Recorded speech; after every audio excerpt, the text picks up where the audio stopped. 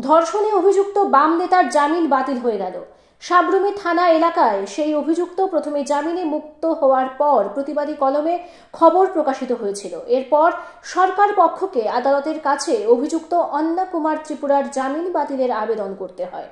আদালত তার জামিন বাতিল করে। এখন অভিযুক্তকে আত্মসমর্পণ করতে হবে। উল্লেখ্য, উনিশ বছরের যুবতীকে ধর্ষণ করে প্রাক্তন ব্লক চেয়ারম্যান। কেসটা রেজিস্টার হয়েছে আঠারো বারো দুই হাজার তেইশ। আর সেটা কোর্টে উঠেছিল উনিশ বারো দুই হাজার তেইশে। তো সেদিন সে কেসটা থ্রি সেভেন্টি সিক্সের মামলা সেদিন জামিন হয়ে যায় পরবর্তীকালে আমরা এটা এডিজি কোর্টে এটা রিভিশনের জন্য যাই। রিভিশনে যাওয়ার যাওয়ার পর আজকে মাননীয় এডিজি সাহেব ওই বেল ক্যান্সেল করেন এবং আসামিকে আজকে জেলে প্রেরণ করার উনি অর্ডার করেন।